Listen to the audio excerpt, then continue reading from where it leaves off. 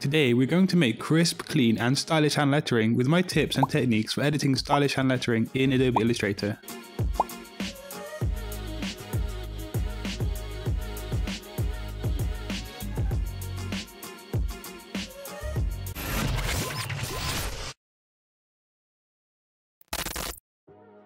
Welcome back to Satori Graphics everyone, home of graphic design content. If you enjoy my videos, please subscribe to stay updated and turn on those notifications so you never miss an upload. Also, let me know you do like this tutorial by hitting the like button on your way out. Before we start, it should be noted that this video is a tutorial on tips for editing digital hand lettering, not actually creating the hand lettering itself.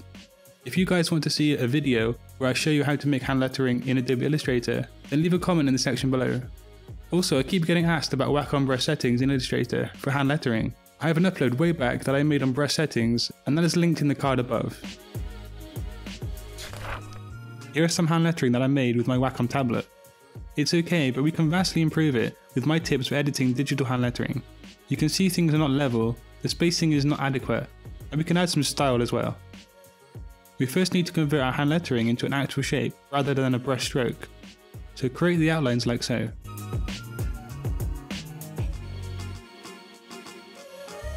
Now we can see we have many anchor points. In fact, we have too many. We need to start cleaning up the lettering so it's easier to edit and a crisper vector.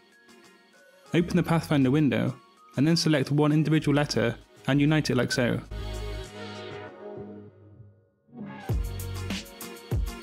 You can now see that the T is perfectly outlined.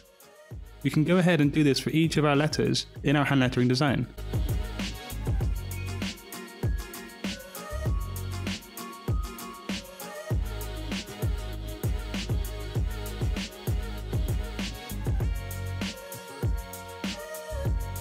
Now we can start to address the fact that there are too many anchor points in our lettering. Select all of your letters and then go up to Object and Simplify. Here you can lower the amount of anchor points on your hand lettering.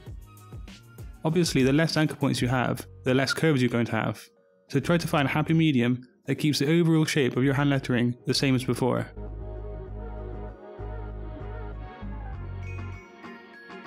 You probably won't want to use the straight line option here. And then finally you can see the difference from the original design. Now you will be able to edit the text a lot easier than before. This is when you can start to take the direct selection tool and look for small anomalies inside your hand lettering.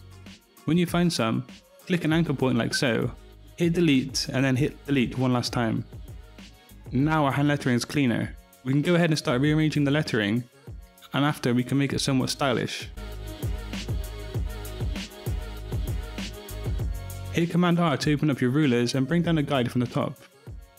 We can make sure our lettering is level and aligned along the bottom here. Whilst doing this, we can use the direct selection tool to move anchor points to edit the hand lettering further. I will show you exactly how with the A here. Click and drag anchor points or hold down shift to click multiple anchor points at once and then move them around where you desire.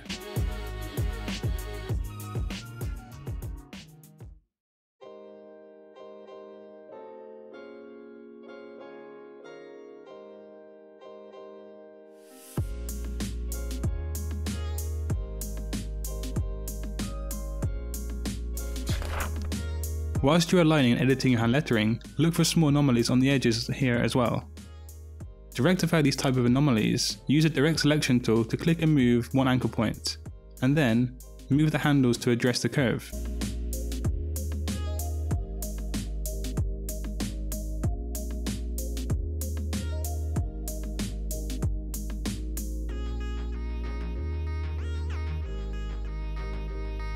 I have another guide set up to align the type along this middle level too. Using the black arrow selection tool, move your letters around, making sure the kerning between each individual letter is desirable and appealing to the eye.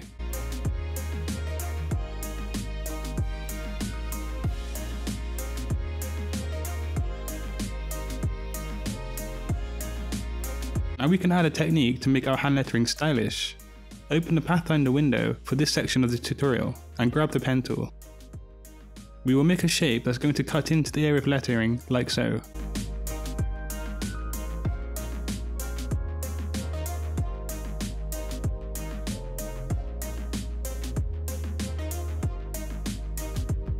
So after you make the shape, select it with the selection tool and hold down shift to select the letter as well, and then use the minus front option in the Pathfinder window. You can now edit the cutaway section with the direct selection tool.